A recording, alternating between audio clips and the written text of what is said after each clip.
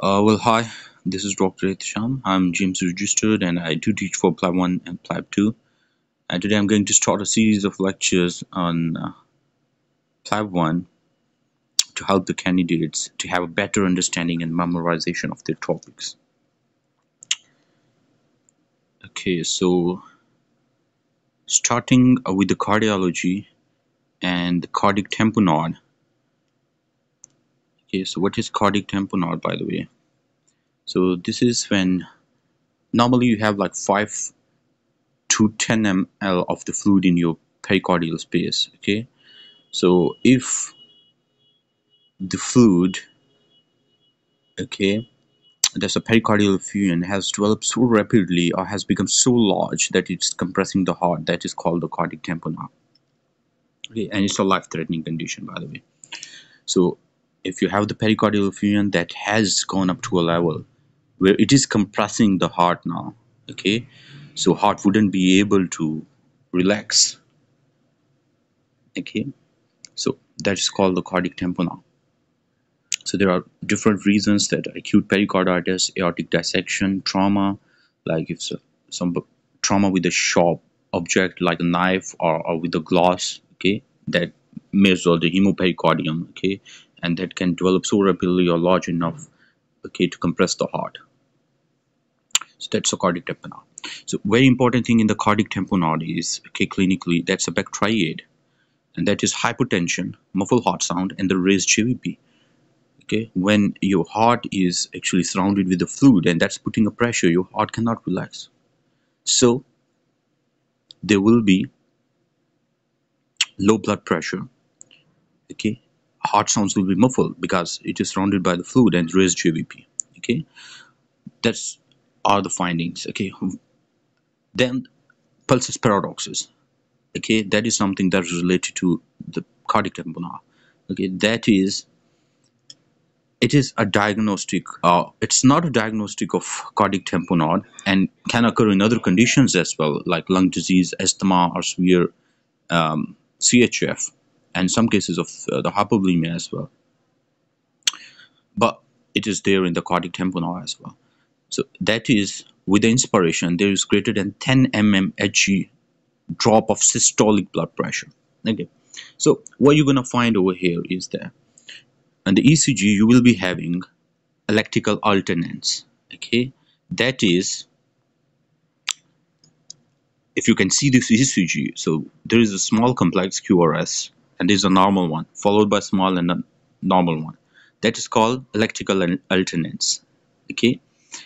That is there in the ECG of cardiac tamponade. This is because your heart is actually moving in that fluid that is it's swimming in the fluid and it's a to and fro motion. Okay? That's a wobbling motion. So that's why it is okay? And the ECG there's electrical alternance. One normal amplitude QRS and one small the best test okay for the cardiac tamponade is the echocardiography. Okay that is the best one. You need to choose that one if that's in your exam. The other thing you can do is cardiac catheterization. Okay but do not choose the cardiac catheterization. It is like when you are measuring the pressure of uh, the left and the right heart and that is equal in this cardiac tamponade. The de definitive treatment or the choice is pericardiocentesis okay they can give you an option of subxiphoid surgical drainage as well but you need to choose for pericardiocentesis where you put a okay uh, in below the xiphoid, you put your string towards the heart and you drain one, and that's guided by the echocardiography. So only if the pericardiocentesis fail, you go for the subxiphoid surgical drainage. So that's as far as cardiac tamponade is. Okay, you need to look for the triad, ECG, electrical alternance, echocardiography, and you need to go for drainage. On the X-ray, you can see a globular heart. Okay, that is surrounded with a fluid, so it's like a globular heart. So the next topic is acute pericarditis. Okay, acute pericarditis. It is the inflammation of the pericardium. Okay, that is surrounding the heart. So the pain of acute pericarditis. Okay, it is pleuritic and the positional. By positional, I mean that is typical of that. That with the leaning forward, it relieves while with the coughing or the deep inspiration that aggravates okay this is the point you need to pick over there and on the ECG what you're going to find there is diffuse ST elevation diffuse or saddle shape ST elevation is there. Okay. What is the difference between now here the STEMI and acute pericarditis? ECG that in acute pericarditis there will be diffuse elevation and they are saddle shape or concave upward. ST elevation will be concave upward like this. Concave upward. Okay and there's a tribute this is concave upward ST elevation this one. While in STEMI there's convex upward ST elevation and that's only okay to some leads okay like in the anterior leads or in inferior leads or in the lateral leads. Okay? Uh, could be in the anterior and lateral leads. But here it's a diffuse. It's, it's present okay all over the ECG so this is the difference between the acute pericarditis and the STEMI ECG okay? And there will be like the other things which I have told you like pleuritic chest pain and that's positional as well. Uh, there are certain uh, like numerous uh, causes like viral infection post-MI as well okay? Dressler syndrome and the uremia uremic pericarditis there are neoplasms okay? Metabolic disorders as well connective tissue disorders they can also cause the acute pericarditis. The thing is here important thing is um, Uh, yeah, let's discuss it after that like treatment for the acute pericarditis is NSAID okay you can combine the colchicine as well. That's going to prevent the recurrence. And if this doesn't work you need to go for corticosteroid. Now the important point over here is to differentiate between sometimes there's mcq of acute pericarditis and dressler syndrome.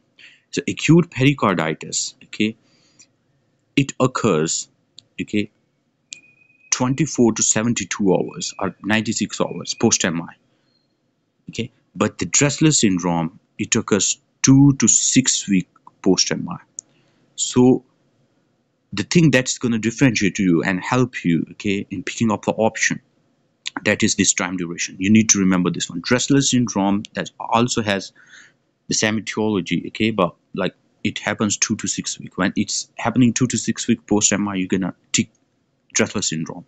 If it's like in two three days that will be the acute pericarditis okay. So acute pericarditis chest pain that is positional and the pleuritic. Okay. The ECG you're going to find saddle shape or con concave ST elevation and that are diffuse. The most specific sign on the ECG okay um, that is PR depression. That is not ST elevation. That's PR depression. You need to remember that one. If that is there more specific you need to pick that one. I've told you a number of reasons difference between the acute pericarditis and the Dressler that's very important. And what you're going to choose that is NSAIDs. Let's move to the next one. So this is all about acute pericarditis. Okay here you can see the concave upward ST elevation like this. And in ST elevation MI they are like this convex upward. In acute pericarditis concave upward. In ST elevation uh, MI that is convex upward. Now it's important is cardiac murmurs. Very important topic okay and i'm going to make it very simple for you okay. Mostly you pick it okay from where the murmur is actually and whether it's systolic diastolic and something like that okay. So you need to remember this thing first of all. I'm going to make it very simple for you people. Arms you know you have two arms so this is ar and ms these both are both are diastolic murmurs ar is early diastolic murmur and the MS is mid-diastolic murmur.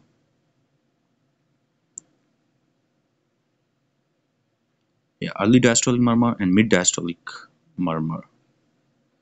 You need to remember this one. Okay. Now, what I'm going to do is that I'm going to deal, you know, that first heart sound. This is just for remembrance. Okay. First heart sound is produced by the clear of the mitral and the tricuspid wall. And the second one aortic and the pulmonary valve. So we're to deal, okay, mitral and the tricuspid together, and we're to deal the aortic and the pulmonary together. So starting from this AR, AR, and the other one is PR. that is pulmonary regurgitation and the counterpart like AS and AR let's deal with them. So AR we said that it was early diastolic murmur. So early diastolic murmur PR has the same. AS you know AS okay? Aortic valve is narrow. So it, that's ejection systolic murmur. ASAR is the same. In AS there is ejection systolic murmur okay? And sorry PR pulmonary regurg okay? So again AR okay we know that what we said already that in AR that's early diastolic murmur. So AR and the PR they have early diastolic murmur and then comes the counterpart like AS and PS I'm sorry AS and PS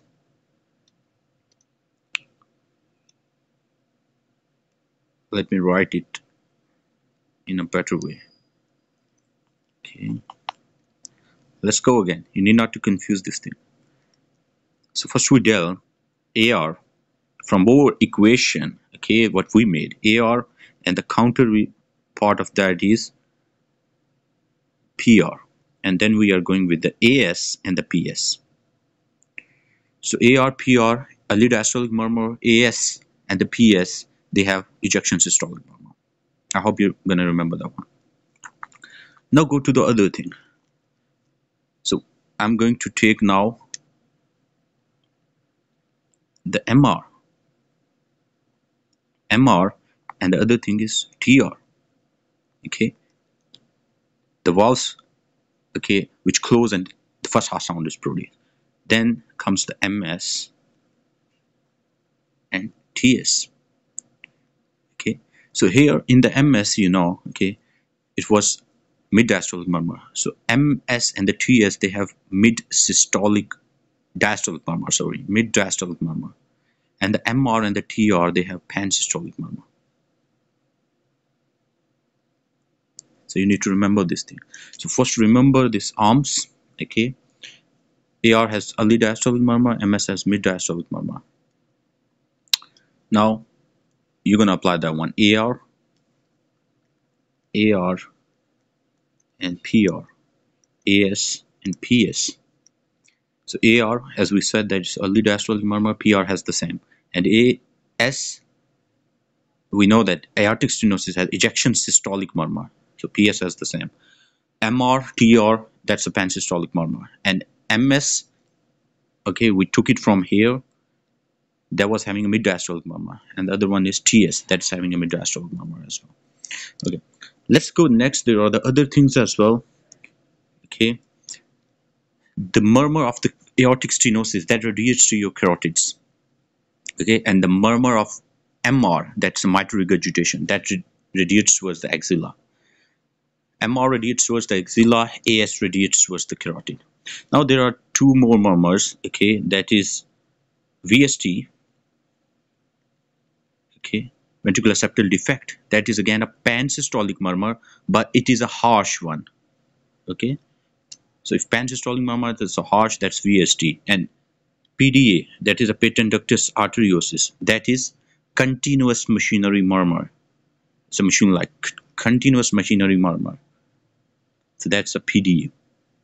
So this is as far as your murmurs are concerned and this is very important and you need to remember this thing okay? Whether it's early diastolic mid diastolic pansystolic okay? That's going to give you a clue over there and that's how you're going to pick the murmur otherwise it's going to be very difficult for you. So next one comes the aortic stenosis. So what kind of murmur was there? There was ejection systolic in AS okay and in PS there's ejection murmur so basically the aortic stenosis the patient presents with the triad angina dyspnea and syncope syncope, angina, dyspnea, and syncope. These are actually the presentation of aortic stenosis. That's a severe aortic stenosis. So a 77-year-old woman with a mild exercise uh, intolerance and injection systolic murmur. You got an idea. Ejection systolic murmur, either it could be like AS or according to the formula I told you, it, it could be either AS or a PS. Okay. So this is aortic stenosis. Okay. Why? Look at the age aortic stenosis okay in patients okay who are approaching 80 okay or greater than 80 okay, aortic stenosis is most common and it is caused by calcification of the valve that's a normal aging process. And in less than 80 years old if somebody is having aortic stenosis okay that is because of mostly bicuspid aortic valve bicuspid aortic valve. So that's a age difference. So 77 you're close enough to 80 so if he has ejection systolic murmur that's going to be the aortic stenosis. And all the murmurs you pick on echocardiography. So as i told you angina syncope and dyspnea okay these are the symptoms of the aortic stenosis and what you're going to do if a patient is asymptomatic the aortic stenosis you need not to do anything okay just medications if the patient is symptomatic go for the surgery if the patient is asymptomatic plus having LVF, left ventricular failure, decreased ejection fraction. Again, go for the surgery. So symptomatic, go for surgery. Asymptomatic, medical treatment. And if asymptomatic, okay, but there is LVF, okay, ejection fraction is low, you need to go for the surgery again. There's much about the gradient as well, but that's not related to you, okay. Now comes the pulmonary regurgitation. A 40 years old uh, man with the cardiac surgery when he was a child has a diastolic murmur. So you know that the AR, the PR, aortic regurgitation and pulmonary regurgitation both have early diastolic murmur. So it's a diastolic murmur on the left upper sternal border. It's likely diagnosis pulmonary regurgitation. Okay, because AR, okay, that's not the site of the murmur that's of the PR and the left upper sternal border the AR you listen down there okay on the left side that's also you listen on the, on the left side but that's down there okay in the area of the tricuspid you listen it over there uh, let's go to the mitral regurgitation okay you remember that the ARMS okay and you remember the mitral regurgitation, MR, and the TR, they have a pansystolic murmur. So it's a pansystolic murmur according to that formula. Okay. So in the MR, what happens is the MR. Okay, with every systole, okay, because of the MR, okay, there's a back pressure, and that goes to the left atria and then to the lungs. Okay, so they develop the pulmonary edema, these patients. So this basilar creps widespread and orthopnea, that is, okay, showing the pulmonary edema here, and that's mitral stenosis in this case.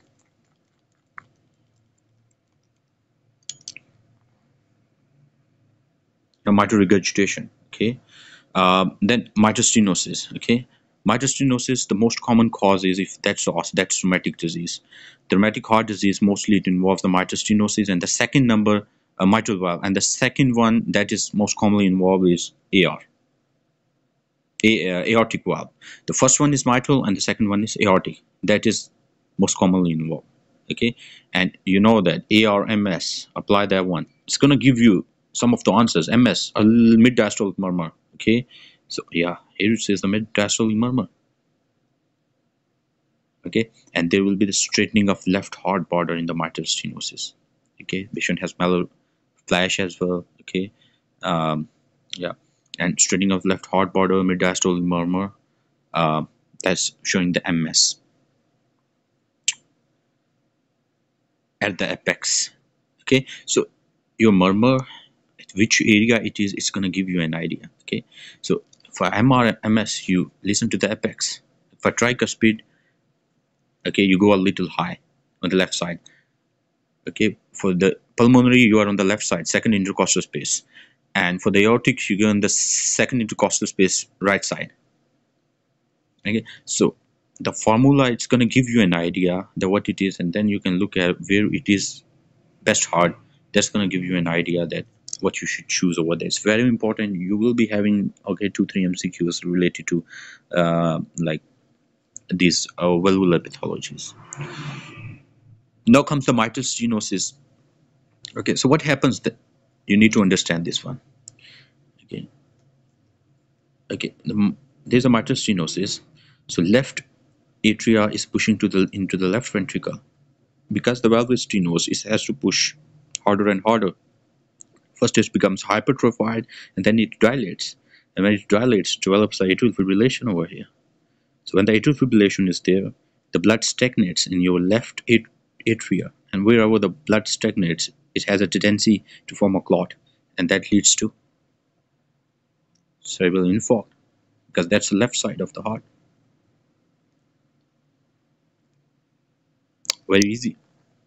Now comes to the cardiomyopathy so first one is dilated cardiomyopathy hypertrophic and the restrictive dilated cardiomyopathy the most common cause is if you are asked that's ischemia so your heart chambers dilate okay left more than right other causes are alcohol, viral myocarditis, chemotherapy, doxorubicin, peripartum cardiomyopathy. So your heart is dilated, okay, and it cannot pump. So diastolic function is fine, but the systolic function, okay, it cannot pump properly. So there's a systolic dysfunction.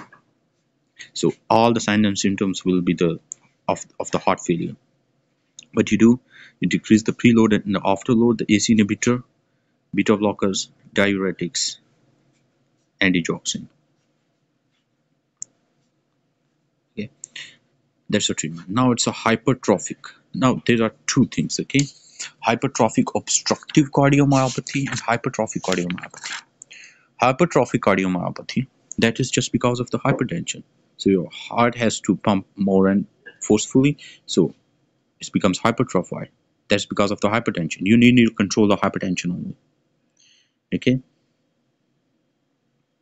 now as far as hypertrophic obstructive cardiomyopathy which is given over there okay it's autosomal dominant condition and mutation is on chromosome number 14 and there's a diastolic dysfunction. So heart has become hypertrophied okay over here as well.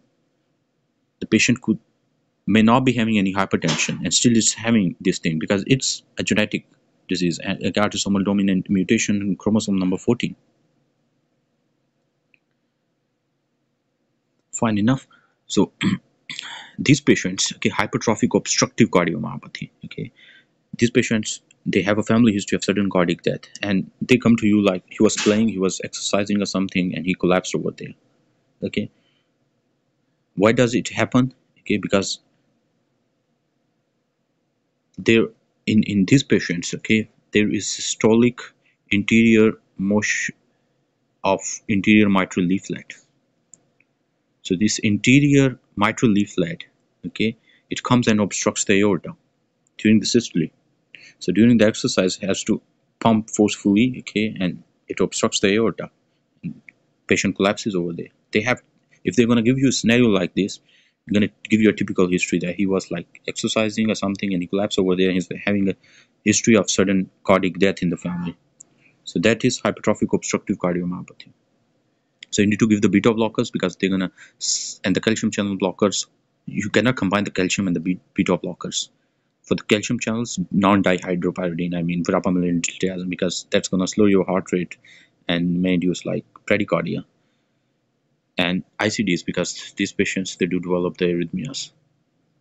Okay. Now restrictive cardiomyopathy. Restrictive cardiomyopathy has the worst prognosis of, of all of them and there's no certain treatment for that. That is also a diastolic dysfunction and mostly it is related to uh, the connective tissue disorders. Okay. And what's happened uh, what, what's happening in restrictive cardiomyopathy you can see it like a rigid non-compliant ventricle walls rigid non-compliant ventricle. That is restrictive cardiomyopathy. So they have systolic performance is often reduced, but the problem over here is diastole as well. Okay, overriding problem is impaired diastole dysfunction, but there's a systolic dysfunction in restrictive cardiomyopathy as well. So you just give the diuretics, there's no definite therapy, no good therapy for that and ultimate death is uh, from this arrhythmias or with CHF. And yeah, what's the definite if they ask in the restrictive cardiomyopathy? Yeah, heart transplantation.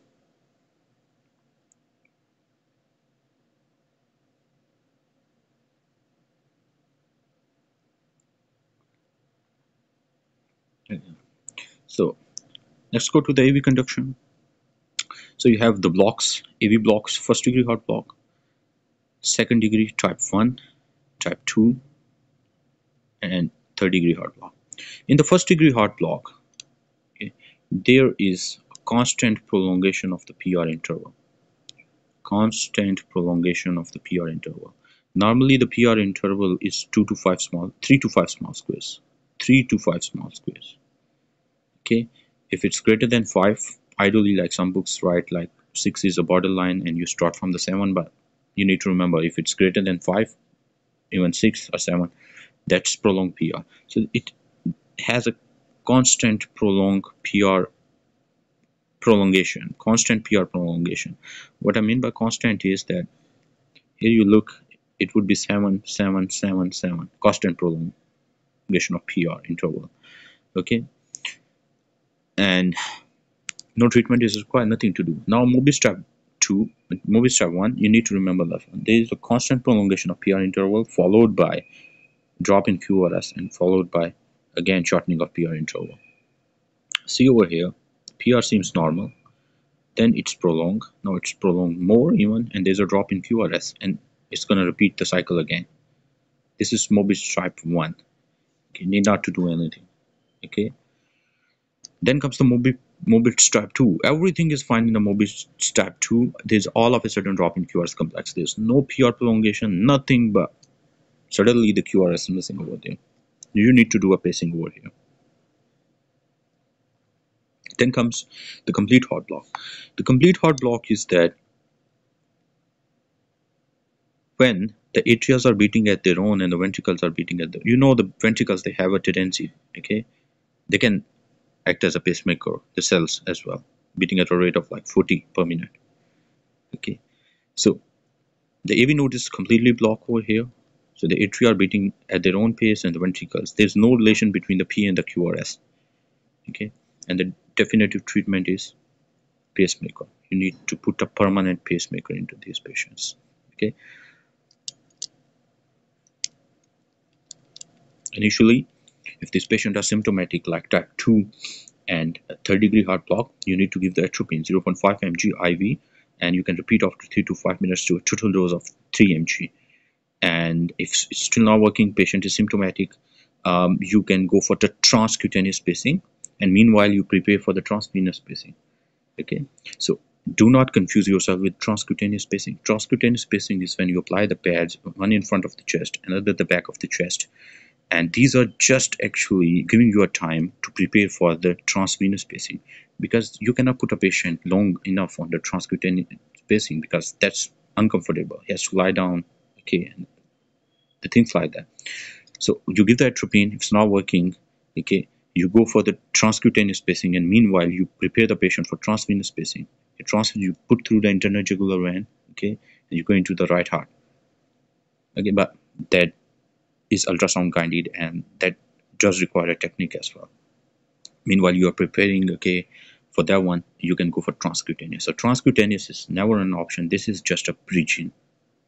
Okay between the atropine and the transvenous pacing and the definite treatment is permanent pacemaker okay? If it's not reversed permanent pacemaker. Okay you need to go for permanent pacemaker.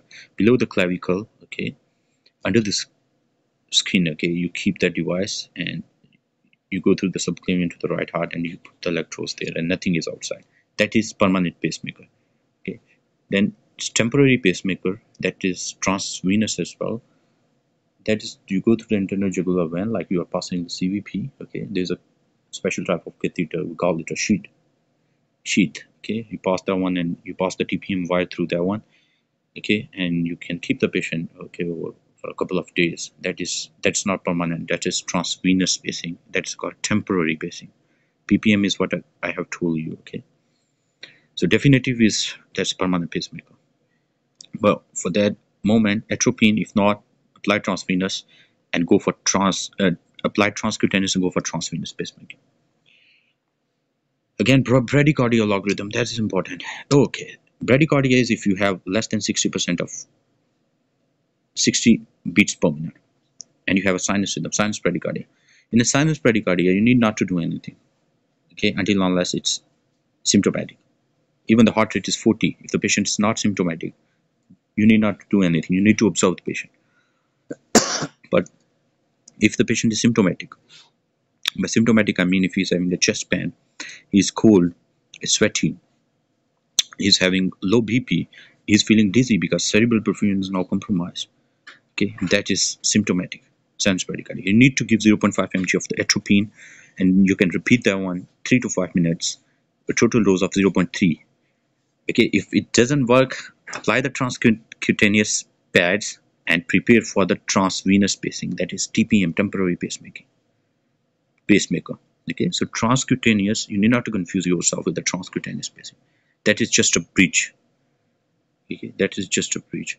The better is go for transvenous pacemaking, and then you go for permanent pacemaker. Because permanent pacemaker, you do it in a cath lab.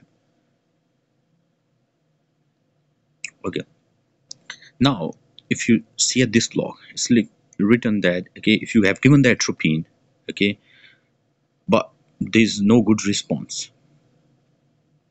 Uh, there is a good response to the atropine, but still, if you have given the atropine, okay, but it's a good response, but patient is at the risk of asystole. It, risk of asystole is like Mobitz type 2, complete heart block with wide QRS complex. If the patient has a previous episode of asystole or the ventricle pause is greater than 3, you still need to go for pacing even if he has responded to the atropine but if there is a risk of asystole then go for transvenous pacing i hope that's clear to you so quickly go to the anti-arrhythmic medications class 1 2 3 one is quinidine and lidocaine using the vts um, yeah. Okay the class 2 is metoprolol. That's a beta blocker. Short acting beta blocker by the way. The half-life is like five to six hours. Six six to seven yeah. And uh, that's given in the AFib as well we do not give the beta blocker to patients who are having asthma and do not give the beta blockers to the patient who are having the AV blocks which we have already read. Okay? Particularly in Mobitz type 2 and complete heart block contraindicated class 3 anti-arrhythmics amiodarone amiodarone we give in the VT AFib okay? So amiodarone is important. It causes the fibrosis, pulmonary fibrosis, hepatic fibrosis, and causes the hypothyroidism and the hyperthyroidism as well. It can cause both, and the half-life of amiodarone is up to like 100 days and corneal deposits. Other than sotalol and ibutilide. Now, the class 4 is calcium channel blockers. That is non-dihydropyridine. Okay. So you can give them in a AFib as a rate control therapy. there are two types of uh, calcium channel blockers dihydropyridine that is amlodipine and all they do not have any effect on the heart. They just lower your bp but these non-dihydropyridines and diltiazem they decrease your heart rate okay? So i'm talking about the non-dihydropyridine.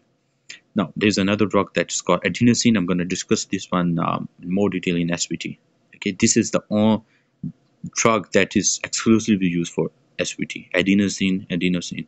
Okay, the contraindication of the adenosine is asthma. You need to ask. And the half-life of adenosine is just 15 to 17 seconds. Okay, I'm going to discuss in detail later on, okay, in the SVT topic. Now there are anti-anginal medications. You have the nitrates, like you have heard of NGC, okay, which keeps sublingual. So nitroglycerin, isosorbide, dinitrate, okay, they reduce the preload okay and uh, the the side effect of nitrate is headache intolerance you need to remember that one. You do not give the nitrates if the systolic bp is less than 90 okay? Because they cause the hypertension and you do not give them with the sildenafil because they're going to lower the bp okay? Chances of hypertension are very high over here. Then comes calcium channel blockers. Diltiazem non-dihydropyridine. So decrease the contractility vasodilation decrease afterload so they cause bradycardia. Then comes the beta blocker atenolol metoprolol and bisoprolol. Metoprolol has a half-life of like six hours. Bisoprolol has up to 11 hours that's the longest acting uh, in this group. Again one that is that has the longest is uh, nebivolol as well. And nebivolol is highly cardioselective okay nebivolol is highly cardioselective it's not given over there. So atenolol is also cardioselective bisoprolol metoprolol these are all cardioselectives okay. How they reduce the angina by the way like uh, why we give the beta blockers? So your heart receives its blood supply during the diastole. The coronaries okay through coronaries during the diastole. So if you're going to decrease the heart rate the diastole will be more fine during a fast heart rate. Definitely during a slow heart rate because heart will be having enough time to fill it properly. That's why we give the beta blocker. It reduce the heart rate. Okay? They reduce the heart rate. So means this means that diastole is occurring properly and heart is receiving the blood supply through the coronaries. Then is ivabradine okay that's a new drug by the way. Not very new but ivabradine also uh, is a rate controlling agent and it acts through funny sodium channels okay? Where you cannot give the beta blocker as a rate controlling therapy you need to give the ivabradine okay but one thing make sure when you're giving the ivabradine okay there should be the sinus rhythm you cannot give the ivabradine if the rhythm is not sinus. Need to take care of this thing. Again comes the amiodarone i have already told you causes fibrosis liver pulmonary. You need to take care of the thyroid function test because it causes the hypo and the hypothyroidism. Hypo or hypothyroidism. Now comes important thing congenital heart diseases. So they are divided into the two cyanotic and acyanotic. So what comes under cyanotic? Tga okay i'm going to discuss the important one. TOF, tetralogy of Fallot, tricuspid atresia, okay, and yeah these things. The most common cyanotic congenital heart disease is tetralogy of Fallot very important MCQ okay but the child is going to present two months and onward with the TOF but in the TGA that is second most commonest patient is going to present within days like maybe at the second day or third day of the life. Okay? Transposition of um, transposition of great arteries because pulmonary arteries they are rising from left ventricle and aorta is from right ventricle so totally opposite. So this patient cannot wait for like two months. So you need to take care of this thing. If someone's coming to you to the two to three peak TGA if it's asked that it's the most commonest cyanotic disease picked off as presenting at the two months stop TGA cannot wait for like two to three months gonna present within two three days Tetralogy of Fallot, you already know pulmonary stenosis, right ventricular hypertrophy, overriding aorta, aorta and VSD, and you have a boot-shaped heart. Okay, tetralogy of Fallot. These all the things that require surgery. Okay, and then there are other cyanotic, that's persistent tr truncus arteriosus and Ebstein anomaly. Ebstein anomaly is the, actually you need to remember this term atrialization of right ventricle okay? Atria right atria that is very big and the right ventricle is small. So it seems that okay atria has gone into the ventricle okay? Right atria has gone into right ventricle. That is the atrialization of right ventricle. Here you can see right atria as compared to that one right ventricle. Yeah, no this is right atria oh and this is right ventricle as compared to that one. Very small. So atrialization of right ventricle and that is the lithium used during the pregnancy. Now another is total anomalous pulmonary venous return. When pulmonary veins did run into the right heart. Now comes the acyanotic heart diseases. So important. VSD, ASD, PDA. So I have already told you the VSD, pansystolic murmur, harsh pansystolic murmur. ASD, very important. If you find something like fixed splitting of S2, that is ASD. Fixed splitting of the MCQ comes like that, this fixed splitting of S2. That's ASD. PD has continuous machinery murmur. I have already told you. Then comes the AO contraction, coarctation of aorta. That is with Turner syndrome. 15% of the Turner, they are having this coarctation of aorta. And the second thing they are having is a bicuspid aortic valve. Well, bicuspid means that normally a, a, aortic valve has three cusps, but here they are having the two cusps. Okay, so that's the coarctation of aorta. Then comes the Eisenmenger syndrome. Eisenmenger syndrome is shunt reversal. Okay, normally say for example it is ASD, a VSD.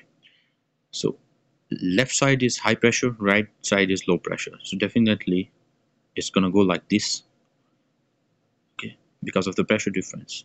Now what happens that okay when it happens okay for a long time okay the pressure is gonna build up over here then the back pressure in the right atrium and there are the lungs as well. So pressure in the lungs develops as well. So that causes the pulmonary hypertension. So what happens that eventually the shunt is gonna reverse. Okay? That is called Eisenmenger syndrome. Once the Eisenmenger syndrome develops okay there's no treatment. You need to go for heart lung transplantation because the pulmonary hypertension has developed into the lungs as well and your heart is already in the heart lung transplantation. These patients do present with the cyanosis and the clubbing cyanosis and the clubbing and that is a shunt, shunt reversal Initially it was left to right, now it is right to left. Now comes the hypertension. That is important. so the hypertension is when your BP is greater than 140 or 90 or ambulatory BP is 135 or 95. By ambulatory means that our home BP monitoring that is 135 or 85 greater than. So you need to remember both of them. So this ambulatory or home BP monitoring that was devised because the people they used to come to the doctor and they were having something like white coat hypertension. When they sit to the doctor, the BP is high, but when they are at the home, the BP is fine. So they have devised the devices which they can measure their blood pressure, okay, attached with them at their home. Okay, so if the clinical BP is greater than 140 or 90, or ambulatory BP or home BP is greater than 135 85 that is stage 1 hypertension. If the patient is less than 55 you need to start with the ARBs by the way what drugs we are having? We are having ACE inhibitors and ARB we are having the calcium channel blockers we are having diuretics. These are the three drugs okay? So in less than 55 you start with AC inhibitors or ARBs. In greater than 55 or black African or Afro-Caribbean, you need to remember this thing. The MCQ comes like this, okay? Black African or Afro-Caribbean is given, or sometimes it's greater than uh, 55 only, okay? So here you start with the calcium channel blocker. If it's not controlled, okay, what's the next step? Add C to A, and here add A to C. And the third step is to add diuretics this is how it works. Simple is that. The first step you need to remember less than 55 greater than 55 less than 55 is inhibitor or ARB greater than 55 or, or even a young patient is black African or Afro-Caribbean okay you need to start with calcium channel blocker. If that's that's not controlling just add C to A or A to C. And the third step that's common add the diuretics. Okay but this is not the rule if someone is coming to me who is having a diabetes okay who is having diabetes definitely okay even if he is 60 years old okay but the rule is like if someone is greater than 55 start with the calcium channel blocker. But if someone is diabetic ACE inhibitors are more helpful because they're going to prevent the diabetic nephropathy. So they or this rule doesn't apply. Go for the ACE inhibitors okay or the ARBs because that's going to prevent the diabetic nephropathy. So exceptions are there okay you need to choose according to so hypertension diabetes First step is AC or ARB. Okay, and second is you need to add calcium channel or the di uh, thiazide-like diuretics. Okay, so this is important. Normal target is less than 140 or 1 over 90. Under the 80, this is important. Over the 80, it is like less than 150 over 90. Okay in type 2 diabetes um, mellitus, it is uh, same as normal clinical BP targets. Okay, that is 130. in diabetes by the way it's 130 and 80 in diabetes plus CKD it's again 130 and 130 over 80 okay you need to have a strict glycemic as well as like hypertensive control in those patients with the diabetes and CKD so normal the target is one less than 140 or 90 in less than 80 who are not having the diabetes or CKD. Those who are having the uh, diabetes and CKD, it is you need to uh, further lower the BP. Okay, it's less than uh, 130 over 80, and those who are greater than 80, this is 150 or 90. You need to remember that's when they keep on changing. Okay, you need to consult. Okay, what are the if if it's something um, very late latest is over there. Now, it's important. ACE inhibitors, what they cause cough and angioedema. Okay, cough and angioedema. ACE inhibitors are causing because of increased level of bradykinins. Okay, maybe they can ask you this thing as well. So they cause cough, dry cough. So if they started on the ACE inhibitor the patients develop cough, what you need to do, switch to ARB. Okay, switch to ARB. And the other thing is they're called the angioedema. That's a swelling of the leaves and the mucosa you need to stop the ACE inhibitors. And these causes the hyperkalemia as well. Calcium channel blockers they cause the peripheral edema okay? In the clinics the patient come that i am having the edema of the lower limb okay? Because i have been started with these medications so they do cause this thing. Uh, then the thiazide diuretics they cause hypokalemia okay? Hyperuricemia okay? Then there's another mcq okay that's coming uh, into my mind. If you have started a patient on uh, ACE inhibitors, uh, ARBs, okay, valsartan, and he's presenting with the hyperuricemia. All the ARBs they actually increase the uric acid level, except losart, losartan, that decreases the uric acid level. So if there's an MCQ like that, somebody is coming to you, against taking the ACE inhibitor, and he's having high uric acid level and he's taking the valsartan, what you gonna do? Okay, do not put on other thing. Put on the losartan because this is the only in this group that lowers your uric acid level losartan low it lowers the uric acid level then comes the postural hypertension. So postural hypertension is okay when your bp systolic bp that falls okay 20 or greater than 20 okay? When you are sitting you're taking your bp okay and you make a person stand for three minutes again you take the bp in standing position. And if that bp okay it falls by 20 mmHg of systolic or greater that is called postural hypertension. That could be because of a number of reasons okay? But this scenario says it's because of he's taking a lot of antihypertensive okay? Enalapril that is ACE inhibitor okay? And that is causing hypertension. Amlodipine indapamide okay? They are causing hypertension because he's using the three medications over here all are causing low BP so hypertension so that's why so multiple antihypertensive you need to see that one now the syncopal episode an elderly man uh, taking antihypertensive attends the GP after having the two attacks of syncope involving the loss of consciousness for a few seconds. Uh, he was standing in the garden when he had this thing. His blood pressure was 110 mmg on lying and dropped 25% when he understanding and heart rate was 80 what is the single most investigation? Okay. Single most investigation. So heart rate um, so the blood pressure drop more than 20 mmHg what I told. So it's a postural hypertension. So what you're going to do if the patient is having a syncope? By the way what is a syncope? Syncope is brief transient loss of consciousness that is followed by spontaneous regain of the consciousness. This is just for a few seconds. Okay, as far as cardiac syncope is concerned, that could be because of some arrhythmias. Okay, the arrhythmia they are causing the hypotension. Okay, and you drop on the ground. As soon as you fall on the ground, okay, cerebral perfusion. Okay, uh, that that arrhythmia, arrhythmia goes away. Okay, cerebral perfusion is again restored, and you got regain the consciousness. Cardiac syncope is always like for a few seconds. Okay, and you regain the consciousness. So you need to go for the ECG. Say for example, it says nothing is in the ECG. What are you gonna do? Holter monitoring. That is 24 hour ECG. That is Holter monitoring.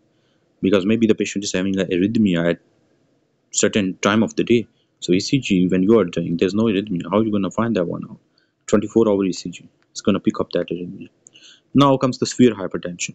Severe hypertension is when your systolic BP is greater than 180 or your diastolic BP is greater than 120 okay or higher. That is severe hypertension. Okay here I will also like to tell you that what is hypertensive urgency or emergency. Hypertensive urgency is that when you are having this much blood pressure but there is no sign of end organ damage either clinical or lab. What do I mean by that? If the patient presents with the this BP okay with the chest pain with SOB okay that is called okay hypertensive emergency. Or if there is like the LFTs or RFTs are deranged okay or if you can see the fundi okay and there are retinal hemorrhages. So either clinical or the labs with this much high BP okay? There are clinical signs or the lab indicating the end organ damage okay or the fundoscopy. That is called the hypertensive emergency okay? And you always control the hypertensive emergency with IV medications IV sodium nitroprusside if that's there choose that one. You can choose um, IV labetalol hydralazine and there's another medication which is used in the USA maybe that's available in UK as well. That's enalapril IV enalapril that's ACE inhibitor. That's a new one. If the patient presents with such a BP okay it's greater than 180 greater than 120 but there are no clinical signs no chest pain no SOB okay um, uh, no dizziness no headache okay and you see there are no retinal hemorrhages okay and there's there's uh, no deranged LFTs okay RFTs acutely. That is called hypertensive urgency. Okay? If the target end organ damage is not there. So you treat hypertensive urgency with the medication. But emergency you need to deal with the IV antibiotics that could be uh, IV medications that sodium nitroprusside um, labetalol hydralazine and enalapril any one of them. But choose sodium nitroprusside it's given over there so malignant hypertension then malignant hypertension is that when you have, have hypertension and you have the eye changes okay retinal hemorrhages or papilledema that's malignant hypertension. So severe hypertension i have already told you about this thing. Uh,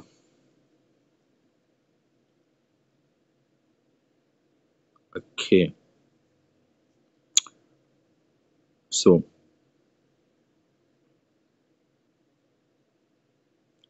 so in uh, in hypertensive emergency you draw up the bp but to, to only 25% in first hour. Say for example the patient came to you with the 200 of the bp in the first hour you do not abruptly drop the bp okay? You can drop up to 25% that's like 25% of 200 that's 50 okay so that will be 150 because if you're going to suddenly drop the bp okay and try to normalize it like into 120 from 220 or 200 that's going to compromise your myocardial perfusion as well as cerebral perfusion. And a patient is prone to the stroke or a myocardial infarction. So this is all what I have already told you. Do a fundoscopy. And if albumin to creatinine ratio ring of function test uh, that's all. Now comes the infective endocarditis. Now the infective endocarditis. That's a important topic by the way and the thing important over here is that what kind of organisms are involved and what you need to do and uh, what kind of uh, antibiotics you are going to start okay? So infective endocarditis what are the risk factors? So so valvular heart disease valve replacement or previous episode uh, iv drug abusers prosthetic valves okay? That is all. So whenever somebody is coming to you with a fever and a new murmur okay always think of infective endocarditis. Patients coming to me with the fever and a new murmur think of infective endocarditis. Take a blood culture start with the antibiotics do an echo. Okay that is you need to do. Fever plus murmur infective endocarditis. Okay so you need to send the blood cultures from two different sites okay three sets of blood culture ideally from two different sites okay? Every set one hour apart. Okay so you're gonna take the blood culture from two different sites. Then one hour apart again the same thing from two different sites. Then again from the one and you need to start the patient on antibiotics. So prophylactic antibiotics what's given in the uk at the moment is amoxicillin and low dose gentamicin. Amoxicillin and low dose gentamicin. If the patient is allergic to it says that amoxicillin then choose vancomycin and gentamicin. Okay that is for the native valve if it's a prosthetic valve okay then choose vancomycin rifampicin and gentamicin okay so a new murmur plus a fever think of PE take blood culture okay give antibiotics okay and then do the echo to find out. So it has a Duke criteria okay major criteria minor criteria you can go through that one. If you have two major criterias or one major with the three minor or five minor criteria and a label decide infective endocarditis. Now the organisms are important organisms are important. This i have already told you okay? Organisms are important. In a native valve which organism is common? Native. Native. So it's v in the native. It's viridans. This is important. You need to remember. Very dense. In the native streptococcus viridans. Okay? In drug abuser a for abuser okay? Staph aureus staph in prosthetic valve prosthetic prosthetic there comes the e okay? There is epidermidis for the first two months epidermidis is most common okay? That is because you have done the operation and that because of the contamination epidermidis then okay it's aureus again okay? It's aureus. So you need to remember this thing. In the native in uh, the the things as well